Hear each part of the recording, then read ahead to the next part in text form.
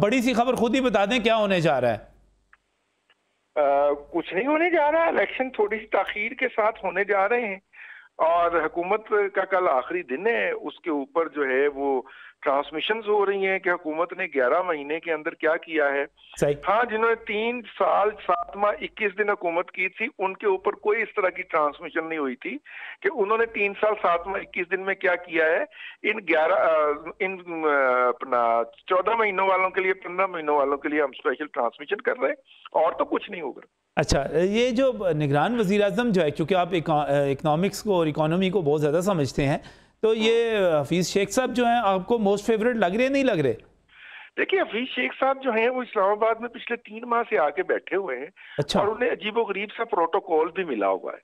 तो इसलिए अगले सेटअप में वो किसी ना किसी रोल में तो हैं भले वो वज़ीर खजाना के रोल में हो या भले वो वज़ीर आज़म के रोल में हो ताहम उनकी मौजूदगी से रजा बाकर साहब की छुट्टी हो गई।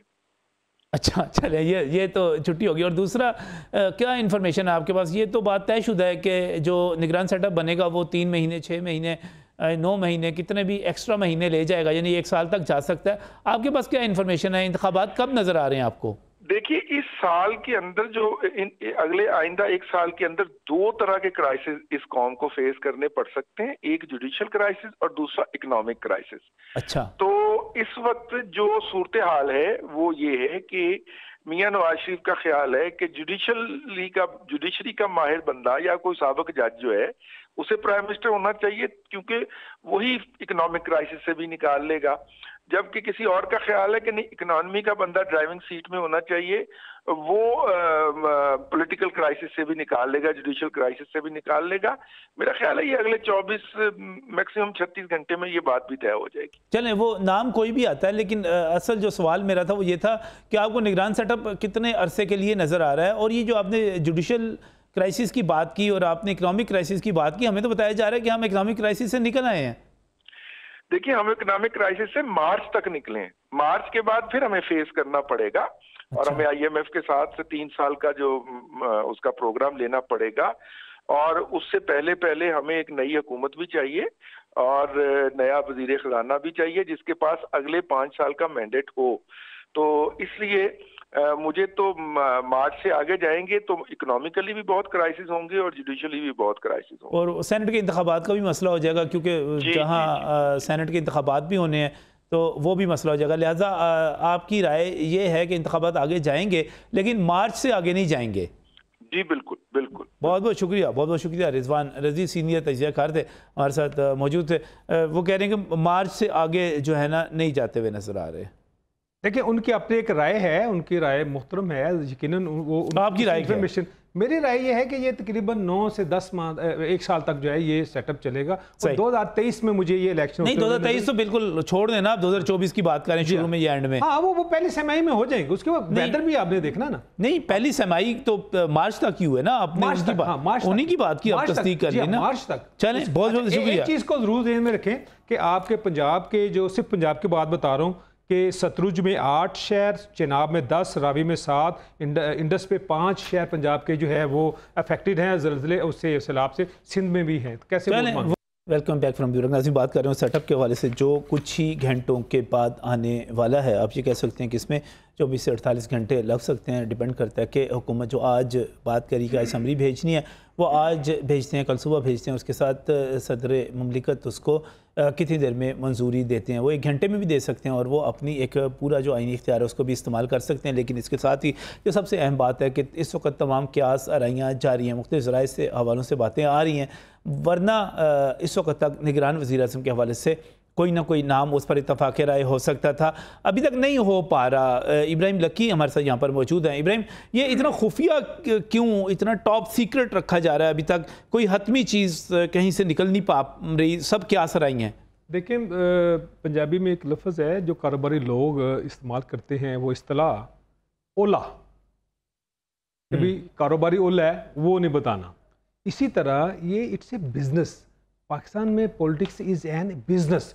तो इस वक्त जो इसमें क्या बिज़नेस होना है यार? ये मैं मैं अर्ज़ करता हूँ मसलन इस वक्त क्या चूँकि इस वक्त चूँकि रियल अपोजिशन तो आपके पास नहीं है ना तो फिर तो डरना ही नहीं चाहिए ये- आपको ये- ये तो- ये तो- खौफजदा होना ही नहीं चाहिए फिर तो देखिए ये तो ओपन एंड शट केस है ना कि अपोजिशन आपके पास वो नहीं है जो एक सर बड़ी तगड़ी ओपोजिशन होती तो फिर आप छुपा के रखते कि यार इसमें कोई नाम हम ओपोजिशन लीडर को बताएँगे। सर गुजारिश ये है ओपोजिशन लीडर की क्या वैल्यू है ना सर? उसने क्या किया अब तक पंद्रह माह में ना?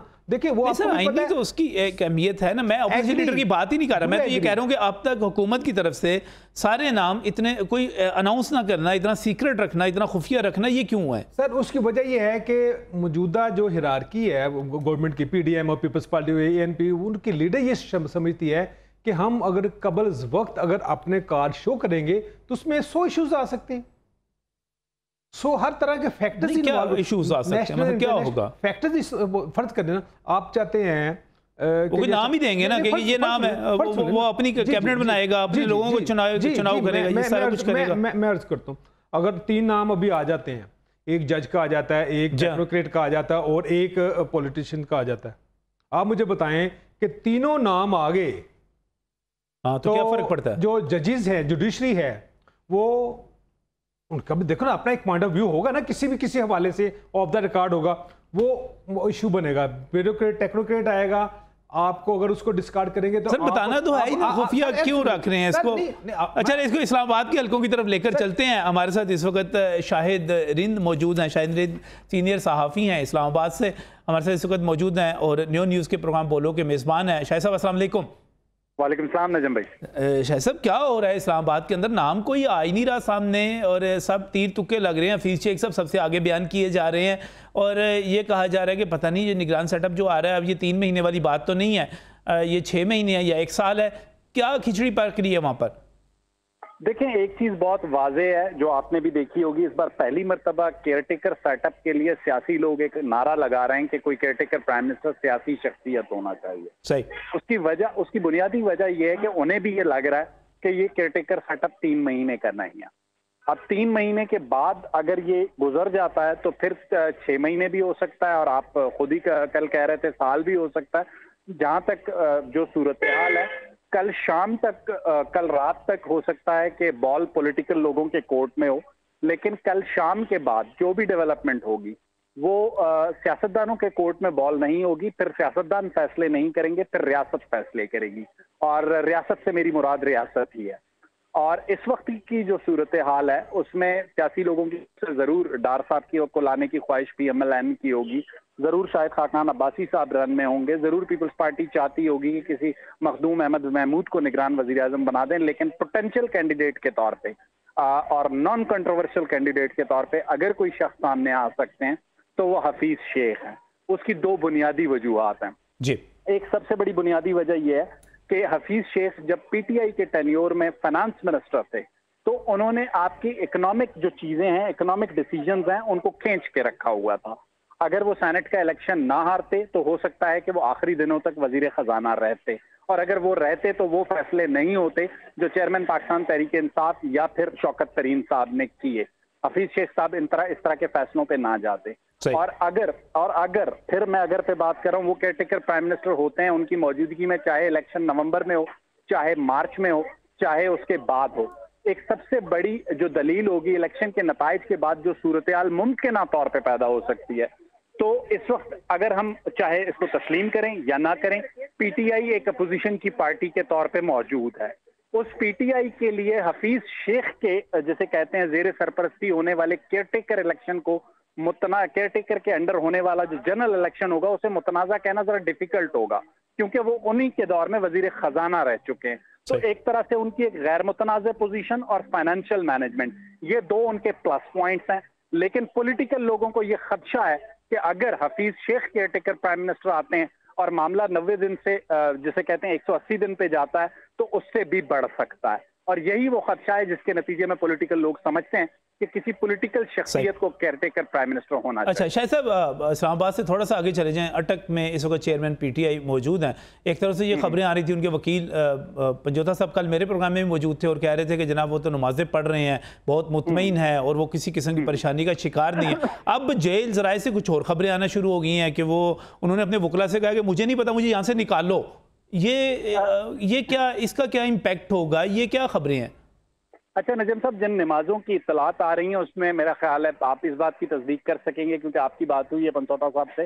तो कहा जा रहा है कि वो तहजद भी पढ़ रहे हैं और वो फजर भी पढ़ रहे हैं। तो इसका मतलब ये है कि जब वो तहजद पढ़ रहे हैं तो वो रात को सो नहीं रहे। ये उनके इसतराब और कैफियत जो परेशानी की कैफियत है उसको बयान करती है। और मेरी मालूम के मुताबिक जेल जराए के मुताबिक जो उनकी अपने वकील से मुलाकात हुई है क्योंकि इमरान खान साहब ने अभी तक तो अपना केस मेरिट्स और डीमेरिट्स पे कंटेस्ट ही नहीं किया। उन्होंने अपने केस को कंटेस्ट टेक्निकली किया है या डिलेइंग टैक्टिक्स पे किया है। तो उन्होंने अपने वकील को इसी तरह वाजे हिदायत दी है, मुझे कुछ नहीं पता। मुझे यहाँ से निकालें, जैसे भी निकाल सकते हैं। अब चूँकि इमरान खान साहब जो जिस सूरत हाल में अटक जेल में हैं तो ये माजी में भी हिस्ट्री रही है। उन्होंने कभी जो है ना जेल में इतना वक्त नहीं गुजारा वो हवाला देते हैं। लॉयर्स की मूवमेंट का लेकिन जेल के जो बावलपुर के जराए बताते हैं जब उन्हें बंद किया गया था तो एक हफ़्ते से ज़्यादा वो जेल नहीं रह सके थे। और गुजश्ता मरतबा भी जब गिरफ़्तार हुए जिस तरीके से उन्हें सुप्रीम कोर्ट बुलाया गया पाकिस्तान की तारीख में पहली मरतबा हमने देखा कि एक मुलजिम को रिमांड से बुलाया गया। तो अब भी वो उसी किस्म की नहीं तो क्या treatment इत, expect इतलात वो जो कहा जा रहा था अब जो असल सवाल है वो ये है कि पीटीआई के जराए से कहा जा रहा था कि जनाब वो चटान की तरह खड़े हुए हैं डट कर खड़े हुए हैं। दूसरी तरफ़ ये इतलात हैं कि वो टूट चुके हैं। आपके पास क्या इन्फॉर्मेशन है? देखिए, मेरे हिसाब से वो परेशानी की कैफियत में मैं ये दावा नहीं कर सकता कि वो टूट चुके हैं, लेकिन वो इस तरह की कैफियत में ज़रूर हैं।